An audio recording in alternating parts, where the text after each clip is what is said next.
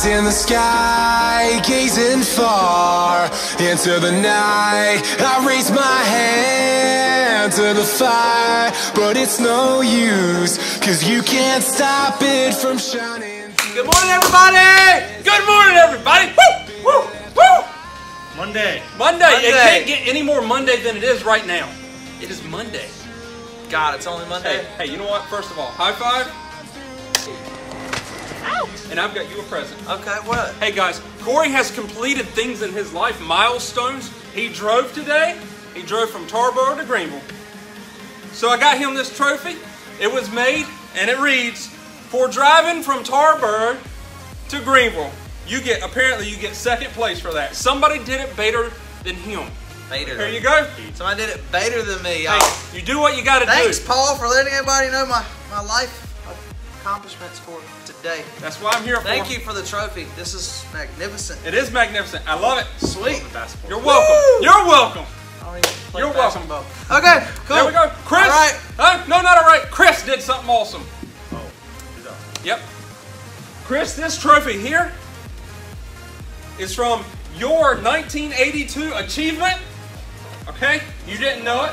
No, you weren't alive. But I'd like to present you this 1982 trophy for doing something cool.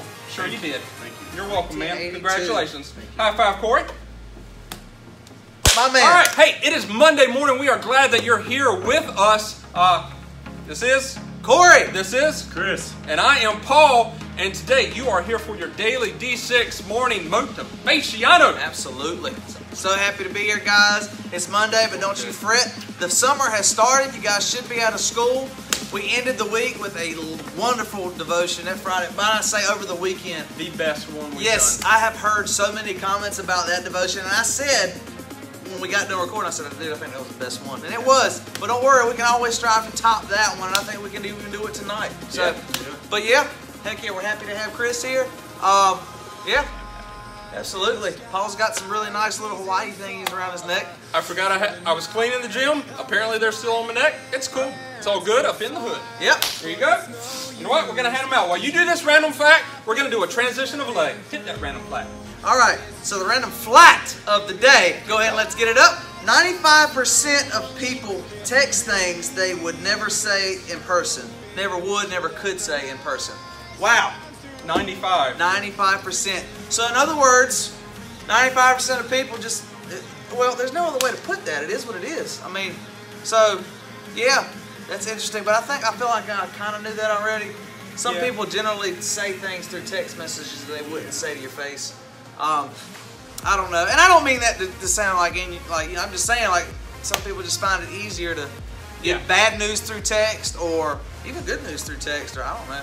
Yeah, um, and that that's is- a transitional thing. Like, uh, some people, uh, an older generation, would not text certain things. Like now, if you get married, like we don't. A lot of people don't do phone calls anymore. They're like, "Hey, congrats on being married," Yeah. and and that's that's it. You've you've made it. But that's acceptable in this That's the generation. problem I have. I'd, I'd rather use my words. I'd rather talk. I think texting is great. I text a lot, but Yeah. I would rather talk to someone. And I'm sure other people have their preferences. Yeah, redundant text. And I do the um Yeah. the, the microphone you, you tap it and then you Yeah. ultimately you're gonna have bad grammar and I'm sorry if I text you bad grammar. It- Yeah. Yeah, I don't understand, Chris. I've got the British Siri. Anyways, hey, um, we're moving on. We're moving on to the daily D6 devotion because that's why you're here. You're not here to learn that 95% of people text instead of voice um, or say things that they want uh, over text instead of voice. But you know what? That is a cool fact. Thank you for sharing. Daily D6 motivation is coming out of John today. Yes, it is. It is awesome. John 14, verse 3, right? John 14, verse 3. It's a good one. It gives us hope. That's what the theme has been for June. So, without further, ado, let's get it up. Up. So, in John 14, 3, it says, and this is Christ talking. He goes, And if I go and prepare a place for you, I will come again and will take you to myself, that where I am, you may be also. Wow. Yeah. Comforting. That, that is comforting. All this, the past few verses that we've done, the passages that we've done, uh, ended last week, beginning of this week, has been either with Paul's letters of encouragement Right. or Christ as he's you know, about to ascend into heaven. It's, it's been kind of back to back to back that way. Um, and it's a message of hope, especially for you, you seniors that are now graduated. Congratulations. Um, those who have it on the way coming up. Um, but it's a message of hope. Um, let there be no doubt in your mind. From this verse, Christ says it very specifically. If I go, which I am, I'm going to prepare a place for you. That's where I'm going. Okay? So, when you look at this world, when you look at everything, the best that this world has to offer, it is not even on the same scale as what we get to experience and have when we get to heaven. Christ is currently preparing a place for us in heaven. It, it doesn't get any better than that. So, your work, Christian, what you're doing right now is not in vain. Strive, run your race, do it vigilant. Okay? Run hard because with the goal of heaven in mind, Christ is there, like he said in verse 3, preparing a place for you. You have a Savior. You have an, as we learned long, long a few weeks ago, um, you have an intercessor that is currently currently talking to God on your behalf every single day, almost every minute, if, if you can fathom that, of every day, just say, bragging on you, I mean, saying, hey, this is my son, this is my daughter, this is my son, this is my daughter. He is on your side and he is preparing a place for you. Corey, it doesn't get any better. It doesn't. it doesn't. I, I mean, like like we said right before you started going into that really great um, description of the scripture, I might add, that was a great job. Um, it's just comforting. That's what I'm thinking when I hear that. I hear when I hear the scripture, I hear comfort. When I read the story, I hear comfort. Even though you gotta you gotta, you gotta get taken to a place where you can kind of fathom just how hard it can get in life sometimes, and that's what I think about when I read the story for today. It talks about a man who who sends his uh, his family. Actually, he leaves Mexico to go into uh, the United States to make a better life.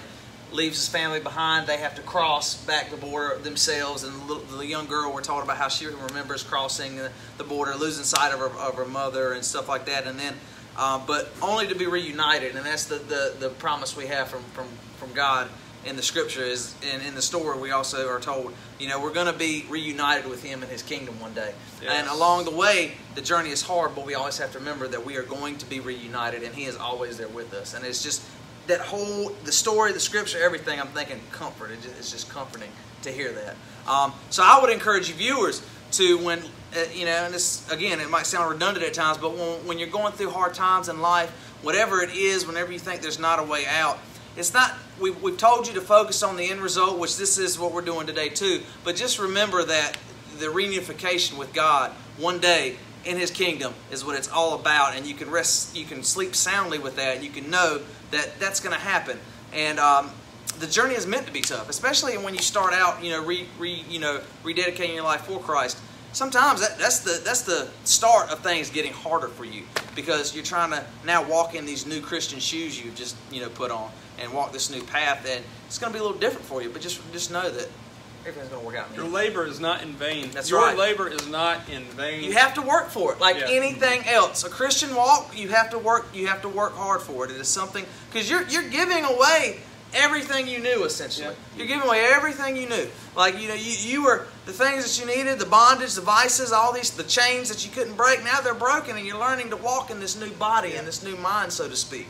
And it's hard. It is hard, and you're going to stumble. There's going to be some roots. There's going to be some some sticks, some rocks. There's- There's going to be things to trip you up, and you will trip. You will fall many, many times. I promise you.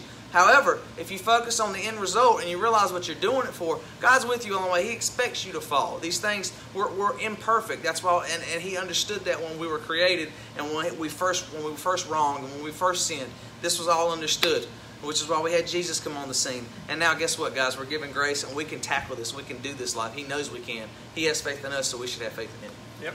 Paul, Paul, the Apostle Paul called it a daily struggle with the flesh. He said he had to die daily to the flesh. It is crazy um, that somebody who was entrusted to write 70% of the New Testament could have these I mean, very open conversations with the people he was leading, these churches, um, and, and just say, you know, daily I go through these battles right now. Yep. Um, so it's real. We understand that. We go through it, and it, it's hard. Up, you know, these roots. That's a good point you made because the roots have been established for years and years, and now you're on this new life. Thank God we don't have to rely on our own works to get to heaven. Yep. That it, it is only through Christ alone. And you know, um, Because let's be honest, we, couldn't, we awesome. couldn't do it. We No, could not. you There's no way we way could to do it. There's no way you would get to heaven without God, without Jesus, without you would not do it. You can't do it without getting saved. For one thing, I myself, I'm telling you, I'm humbling myself right now. I cannot do it, and I know that no one else can do it. So admitting that, and then seeking Christ, and just you know, being. Uh, I guess lenient with yourself for your, with yourself, and what, by that what I mean is don't be so hard on yourself. Realize this road is hard and th- this this journey is long and it's a struggle. Accept it, embrace it, and, and, look to Christ. Seek Christ in everything you do.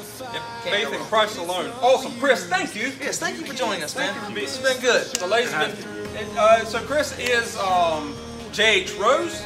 They've already started their foot. I mean, you, you, you can't even fathom. We, they just got out of school on Friday, and they're, they're already started doing uh, football training and all that for next year. It's a big deal around here. So, without further Adieu. Corey, Oh God, I sense another. for, I, for I a very right. good episode, Oh, I it's give you that, me. sir. You did it. Oh, thank you. It's for an episode of greatness, Chris. Yes. You too did an episode. You came in first, so Corey, I'm sorry. You came in. Thank you came That's in fine. second. I, I deserve second place. today. Everybody gets a trophy. Told you the road was long and, and it's gonna trip you up. I got tripped today and I got second place.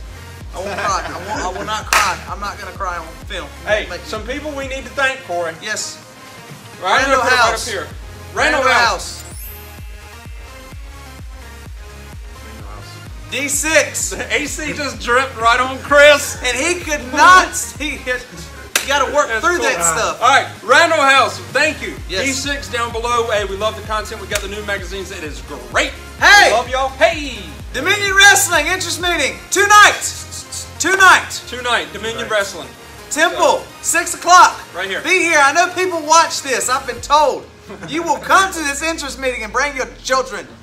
Thank you. It's It's free. free. It's free. High Free. five. It's free, dude. Who doesn't love free? Who does not I, love I free? love free. I like free. People like free, I hear. All right, so come. Hey, tomorrow we will see you bright and early. Absolutely. six o'clock in the morning, Tuesday morning, or if you show up for to drop your kid off or to be here for the first wrestling um, meeting tonight, then you'll see us tonight. We're not practicing yet. Not practicing yet, just going over what we're going to be going over. Sign some papers. Cool. So if you come to the wrestling thing, we'll see you tonight. Otherwise, we'll see you at 6 o'clock in the morning. Yes. Cool. Good. Ready? Great, grand, wonderful. He's got your hand. And you're going to make me switch hands. We're Good. woo, woo, woo, woo, woo, woo, woo, woo.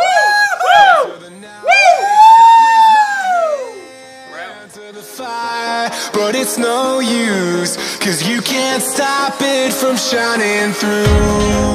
It's true, baby.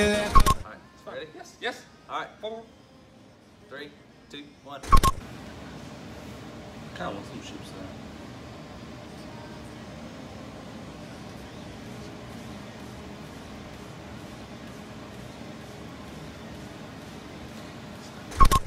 Hey, this is Chris. Chris is joining us. For, hi. Ah, sorry. Chris makes me seem small. Chris is buff. I've got a beautiful bronze.